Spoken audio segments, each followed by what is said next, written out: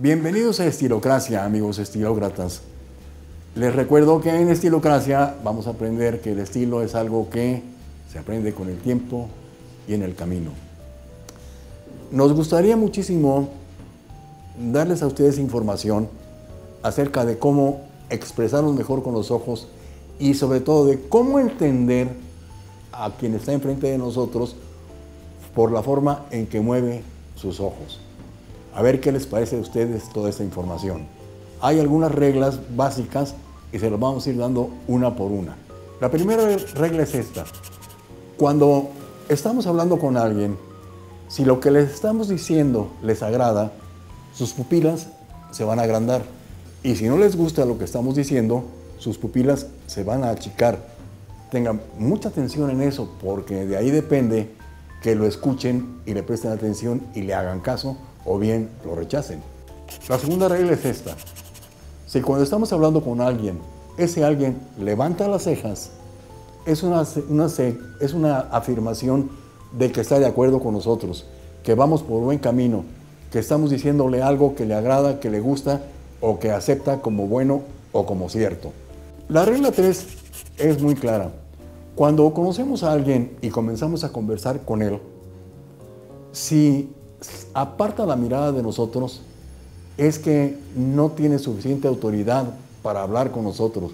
O al revés, si nosotros somos los que apartamos la mirada, quiere decir que nosotros estamos aceptando que la otra persona tiene más autoridad que la que tenemos nosotros.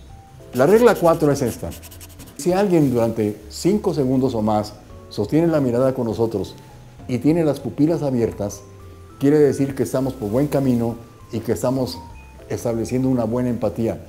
Pero si tiene las pupilas cerradas, quiere decir que no estamos generando la empatía necesaria para continuar o para convencer de algo a la persona con quien estamos hablando. Regla 5. Si la persona con quien estamos hablando nos mira con los ojos entrecerrados fijamente y no mueve la cabeza, sino que continúa mirándonos así, con los ojos entrecerrados, quiere decir que no está de acuerdo con nosotros y que prácticamente nos está retando, nos está desafiando. Tenga mucho cuidado con este tipo de mirada porque entonces tiene usted que cambiar el tema, la temática o la forma de dirigirse a él. Regla 6. Suponga que va usted caminando por la calle y se cruza con alguien que lo mira, pero que lo mira de reojo.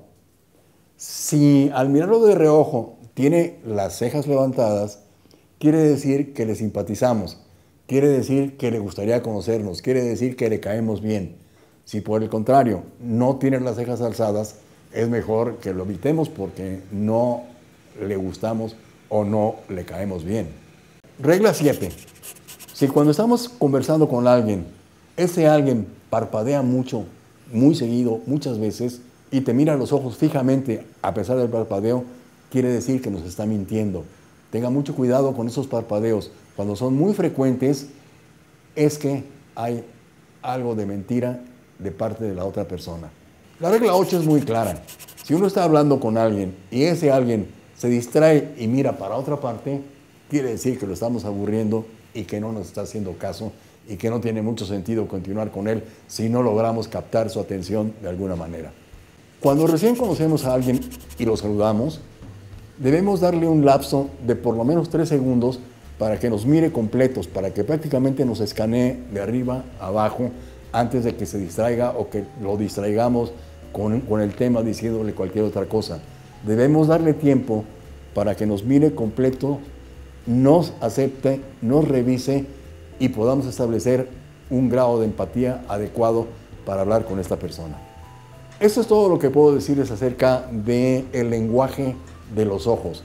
Espero que les sea de utilidad y que aprendamos entre todos a utilizarlo para no equivocarnos cuando estamos conociendo o hablando con alguna persona. Quiero agradecerles su atención y quiero recordarles darle like a mi video, suscribirse al canal y tocar la campanita para saber que hay un nuevo video en el aire. Muchas gracias.